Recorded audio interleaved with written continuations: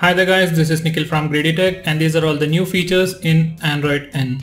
So guys, the first thing would be the notification bundle. So for example, this is my Gmail notification and if I swipe down,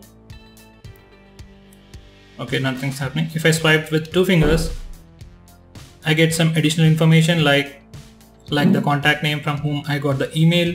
On the right I can see even the profile picture and if I if I swipe down once again now I can read the entire mail directly from the notification area.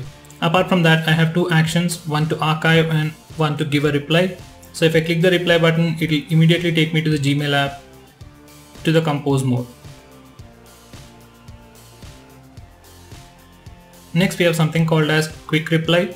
So these are some messages and once again I can simply swipe down to get additional information. Now I can dismiss any one of these messages by simply swiping it completely.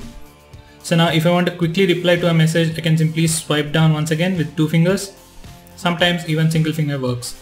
So now simply click reply and now we can reply to this particular message directly from the notification area. So that's something really nice and something we didn't have earlier. We can change the settings related to the notifications directly from the notification area.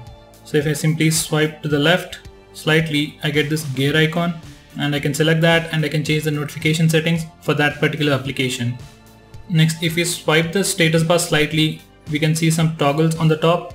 So these are the quick toggles and you have an arrow at the right corner of the screen. We can even swipe it down to get the full notification toggles.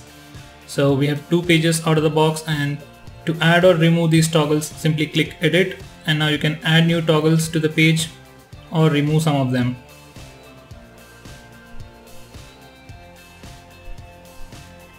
So these are your quick toggles and these are the 5 topmost toggles in the first page. This is our new settings page and at the top we get some quick suggestions. Below that we get suggested settings. So for example if you have not enabled the screen lock for your device you get the option to set a screen lock and some other suggestions.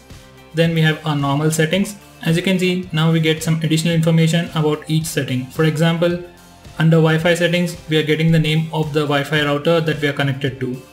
If we scroll down a little bit, we can see the total amount of storage used by this phone. We can even check out the battery percentage directly from here. We can check out the average RAM usage or memory usage from this page. So we get all these cool stuff. If you enable the system UI tuner, you get additional options. We no longer have the dark mode so we can't enable that from the system UI tuner.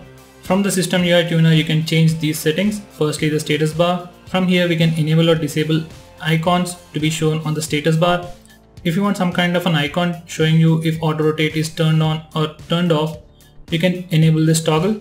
The same, in the same way we have all these toggles for the status bar. Next we have the do not disturb mode. Out of the box these are the default settings and whenever you press the volume button you don't see do not disturb options so if you enable this option, you get the option to enable or disable do not disturb mode right from this page. And if you go to others, we have the option to enable the split screen mode by swiping the overview button. So let me just disable that for now. Now if you want to enable the split window or multi-window, just press and hold the overview button. Now the, for, now the foreground application will be placed at the top and you can choose between different applications to be placed at the bottom. This is a timer.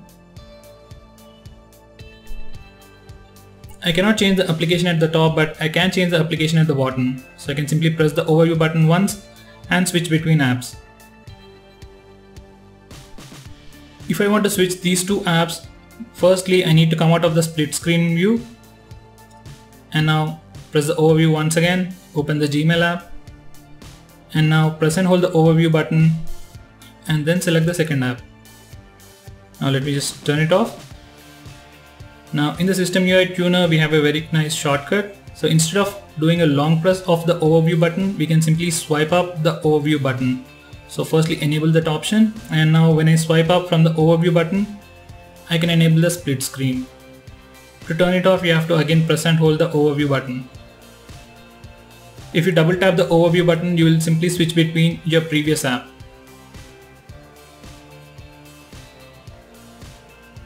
The next new feature has to do with the Google Keyboard app and this is how it looks.